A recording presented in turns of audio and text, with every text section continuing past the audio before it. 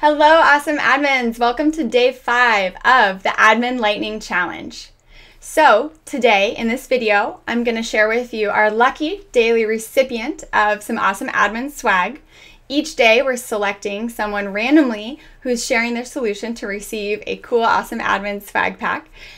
And also, I'm going to share my solution for the day four challenge and get into what our day five challenge is. So, let's get started. Our day four challenge recipient is going to receive an awesome admin t shirt so they can share their awesome admin pride everywhere they are. And as you're making admin friends, maybe you want to have a admin picnic. So we have our cool um, collapsible picnic blanket here that comes with a handy little carabiner. You can carry it around with you in your backpack. So you're always ready to hang out with your fellow awesome admins. So who's our lucky winner? Naraja. Naraja shared her solution for our day four challenge in the success community. So thank you so much for participating, Naraja, and I really look forward to seeing your future solutions to all of our daily lightning challenges on the success community. And what was our day four challenge? Our day four challenge was to convert a classic app to Lightning. So I'm going to go ahead and show you exactly how I did that in my Salesforce environment, and then I'll share with you the day five challenge. So I am in my Lightning setup page here. And in Lightning Setup, I can navigate to Platform Tools and my App Manager. Your app manager is where, likely as admins, you might be spending a lot of time making sure that all of your apps have all of the items that you want them to have for your users and it's where you can check and see which apps are visible in Lightning and which apps have been upgraded to Lightning. Because I can see I have my classic apps that are visible in Lightning because your classic apps do work in Lightning, but I can also see those apps that have converted to Lightning in order to take advantage of all of the new Lightning features. One of my favorite apps is my Volunteer Force app. This is a custom app I created for my end users to discover and sign up for volunteer events. So I really want to make sure this is available for my Lightning users. It's in Classic now and it's not even visible in Lightning, so we need to change that. In my drop down on this app, on my app manager, I have the option to upgrade, edit, or delete. I'm going to upgrade this app because with upgrading, I can create a copy of it for Lightning, which means that I can continue to work on this app and fine tune it for my Lightning users, but I'm not impacting the experience for my Classic users who are still using the Classic version of this app. The app name is defaulted to Volunteer Force Lightning. For now, I'm just going to go ahead and leave it there. Um, it does automatically just append the app name with Lightning, so you know which app is which. So I clicked OK, and now I have a brand new app. I've got my Volunteer Force Lightning app. I can see that it is a Lightning app versus a classic app, and it's visible in Lightning. That's awesome, but I want to do more. I want to make this really usable, and I want to take advantage of some of the fun features in Lightning that help my end users. So now on that Visual Force or Volunteer Force Lightning app, I'm going to select Edit.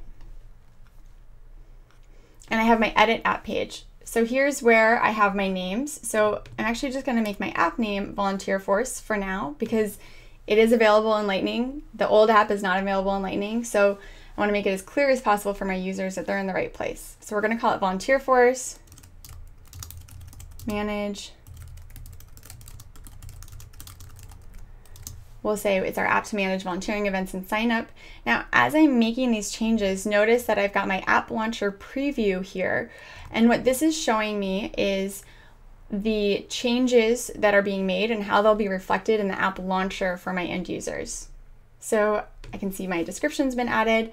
I also want to add a logo. So I just selected upload here in my image under app branding and I selected a GIF because I think they're really fun and they draw attention to this app and it is a volunteering app so I've got my nice heart here for our nonprofit app. I'm also going to change the primary color of this app. It is defaulted to blue, but and I can just put in my hex if I want or my RGB, but I'm going to go ahead and just manually pick one that seems pretty close to the purple that I'm working with as a background. It's not an exact match, but it's close enough for now.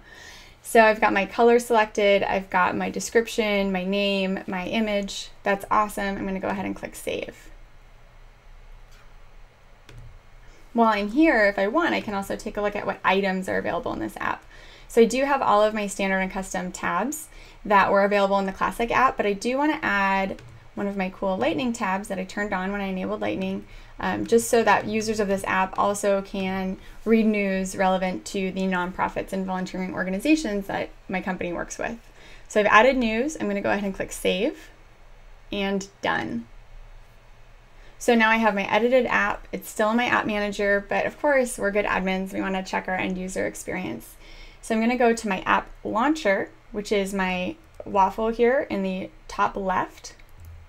There we go. And I can see I'm in the call center app right now, but I have access now to my Volunteer Force app and I see my new logo. I'm also going to bring this front and center, make sure everyone knows that it's there. And so I've edited where it is on the page here in my app launcher, and I'm going to go ahead and click right into it and take a look at that branding